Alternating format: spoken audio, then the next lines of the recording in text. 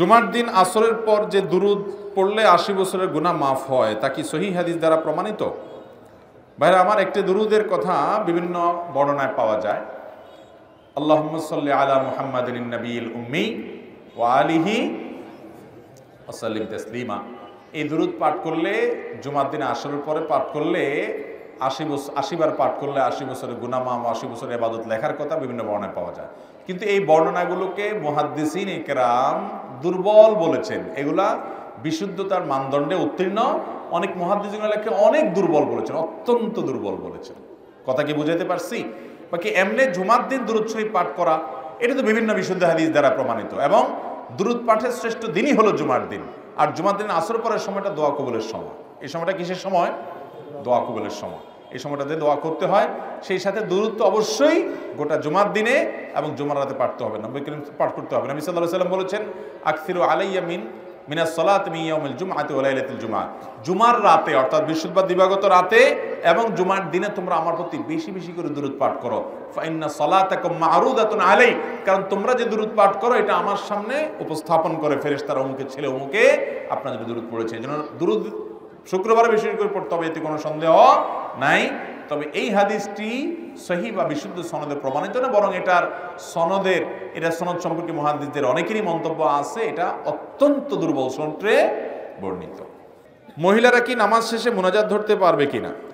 ভাইরা আমার, মহিলা, পুরুষ, যে কেউ নামাজের পর নবী করিম সাল্লা সাল্লামের শেখানো দোয়া, জিকির, এগুলো পাঠ করবে। এর পাশাপাশি আল্লাহর কাছে বিশেষ কিছু চাওয়ার দরকার হলে অবশ্যই তিনি চাইতে পারেন। কারণ নামাজের পরে দোয়া কবুল হয়। অতএব নামাজের পর পুরুষরা যেরকম আল্লাহর কাছে চাইতে পারেন, মহিলাদেরও চাওয়ার অধিকার।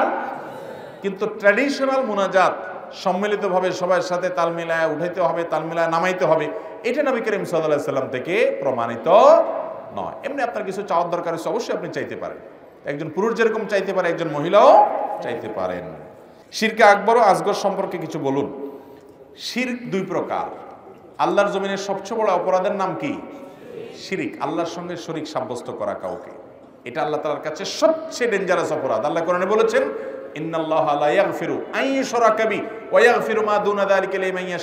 আল্লাহর সঙ্গে শিরক করা হলে সেটা আল্লাহ মাফ করবেন না। আর শিরকের চাইতে অন্য যেগুলো আছে সাধারণ, পরবর্তী দাপের সেগুলো আল্লাহ যাকে ইচ্ছা তাকে মাফ করতে পারেন। কিন্তু শিরক আল্লাহ কাউকে মাফ করবেন কিন্তু শির করার পরে যদি কেউ ভুল বুঝতে পারে, জীবদ্দশায় আর মাফ চায়, সেটা মাফ হবে। এটার অর্থ হলো, শির করে যদি মারা যায়, তাহলে মাফ হবে না। আর এই শির, এটাকে আল্লাহ তালা বলেছেন, ইন্না শিরক আল্লাহুলমন আজিম শিরক এটা মহা অপরাধ, বড় অপরাধ। কোরআনে আল্লাহ তালা বলেছেন, হে রসুল, লাকাদ ওহিয়া ইলাইকা ওয়াইলাল্লাযীনা মিন ক্বাবলিক। আপনার এবং আপনার পূর্বের সকল নবী রাসুলদের প্রতি ওহী প্রেরণ করা হয়েছে। লাইন আশরাকতা ইয়াহবাতান্না আমালুক যদি আপনার শিরকে লিপ্ত হন নবী হওয়ার পরেও আপনার সকল আমল বরবাদ হয়ে যাবে। শিরকে এত ভয়াবহ অপরাধ। এজন্য ভাইরা আমার, আমরা দোয়া আল্লাহর কাছে চাইব, কোনো মাজারে, কোনো কবরে যেয়া দোয়া করব।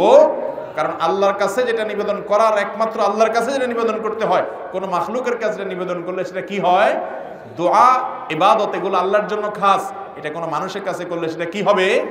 শির্ক হবে। আমাদের দেশে অনেক মানুষ আছে, মাজারে যায়, সন্তান চায়, ব্যবসার উন্নতি চায়, রাজনীতির উন্নতি চায়, দুনিয়ার বিভিন্ন জিনিস চায়, আছে না নাই?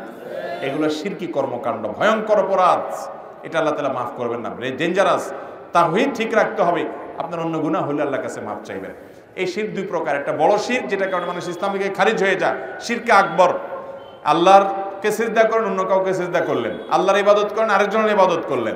আল্লাহর স্থলাভিষিক্ত বানায় ফেললেন কাউকে, এটা বড় শির আরেকটা হলো ছোট শির কথার ভুল কথার ভুল। যেমন অনেকে বলে যে উপরে আল্লাহ, নিচে আপনি, আগে আল্লাহ, পাশে আপনি, আল্লাহও লাগে ইল্লাও লাগে। এরকম কথা শুনছেন নি আপনারা মাঝে মধ্যে? এগুলো ইমানদারের জন্য শোভনীয় কথা না। ইমানদার বলবে আল্লাহ তালা যথেষ্ট। উসিলা হিসাবে দুনিয়াতে অনেক সময় মানুষকে আল্লাহ ব্যবহার করেন। আল্লাহ চাইলে উসিলা ছাড়াও দিতে, আল্লাহও লাগে ইল্লাও লাগে। আল্লাহকে ইল্লা ছাড়া পারে না? পারে কি পারে না? তাহলে ইমানদার কীভাবে এসব বলতে পারে? পাম্পটে দেওয়ার জন্য বললেন, উপরে আল্লাহ নেতা সাহেব, নিচে আপনি। নেতা সাহেবরে আল্লাহর পিছনে পিছনে দালাল বানায় দিলেন। এই সমস্ত দুই নম্বরই করলে ইমান ক্ষতি হবে, ক্ষতি, ক্ষতিগ্রস্ত হবে। এই জন্য ছোট শিক্ষক এগুলো হলো কথার ভুল।